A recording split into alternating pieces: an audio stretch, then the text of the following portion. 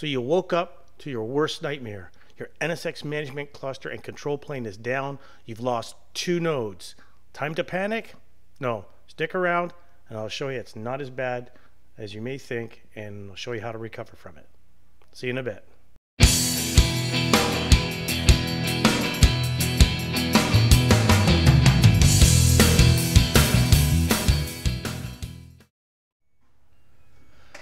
Okay, everybody. Um, I've got a two node failure. So what I've done is I've actually gone into vCenter.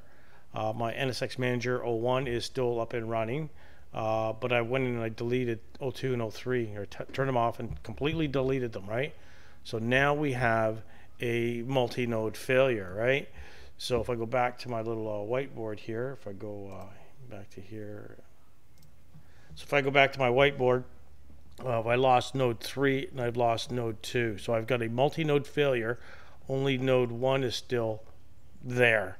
But since we no longer have quorum, uh, the um, the Corfu database is no longer running, and um, our NSX control plane and management plane is down. Data plane is still functioning.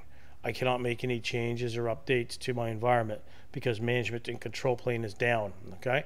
Now, some of you might be wondering, well, control plane's down. Doesn't that also impact data plane? I'll talk a little bit about that when we get into more of the switching and segments, and I'll talk about the VTEP back and ARP tables. But for now, let's just kind of stick with this. Management control plane is down. Data plane is still functioning. Okay. Uh, it may have some limitations, and I'll, I'll address that in a later video. Um, so right now what we need to do, since this is down, it's looking for nodes 2 and looking for nodes 3. They're not there. They're history. They're gone. So what do I what can I do here? Now, one of the things is uh, some people I usually get in the class are saying, "Well, hang on a second, Steve. If nodes 2 and 3 are down, can't you have an NSX cluster, management cluster running in a single node?" And the and the answer is yes, you can. But this guy has been configured as a three node cluster. So it's looking for its brother and sister there. It's looking for nodes two and three. So what I can do is I can actually connect to this first node using SSH or go to the console and I could turn it back to a single node cluster. And that's kind of what I'm going to do. All right. So right now, I, again, my, my cluster's down. Let me just, uh, let me just go back over to here now. Let's go to, um, well, let's go back to here. All right, so we're over here now. Let me click.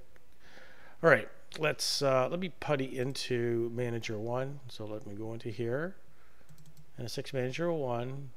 Let's uh, close this over here so I can get a bit more real estate.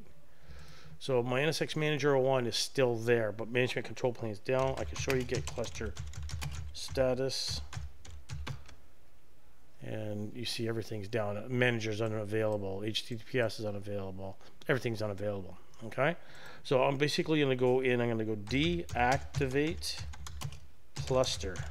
Hopefully, I typed that in right. Deactivate cluster, and it says um, once you uh, it's asking you, do you want to remove all nodes from this cluster. So this was our surviving node and saying, do you want to remove nodes, in my case, two and three from this? I'm going to say yes. And then this could take a little time to process. Once this processes, then you want to restart it and then have the manage and wait for the management and control plane to come back up. It should come up as a single node. So this is going to take a little while. I'm going to let it do its thing and um, um, and we'll kind of take it from there.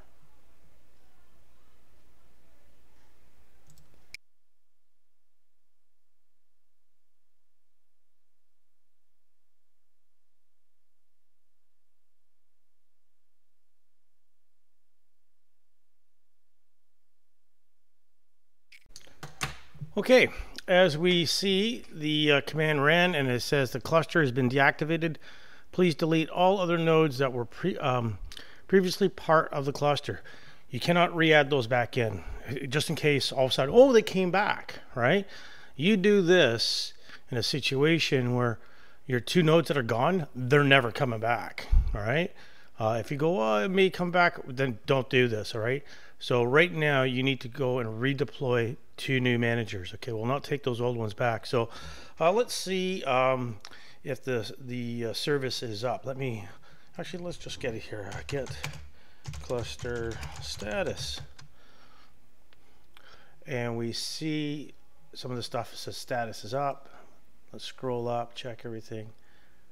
And it's looking data stores, uh, okay, cluster stable, controller stable, manager stable. All our services over here on the left that I'm showing you is, are all stable so far. So that's good. Let's try the uh, web interface now. Let's go into here and see if he's all up. NSX Manager.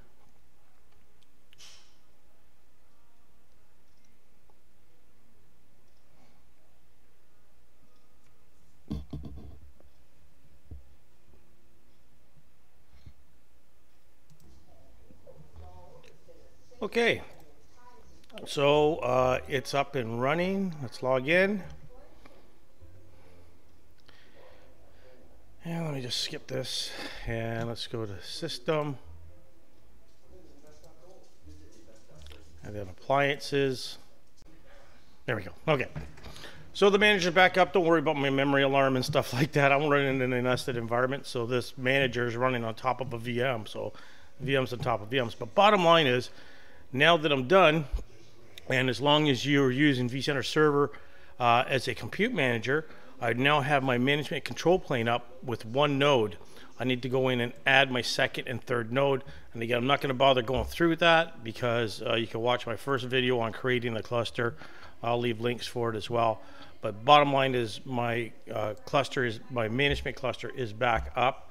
Add your second and third nodes and life is good. Okay. Uh, so that's how you recover from a two-node failure. If you stuck around this long, um, please hit that subscribe button.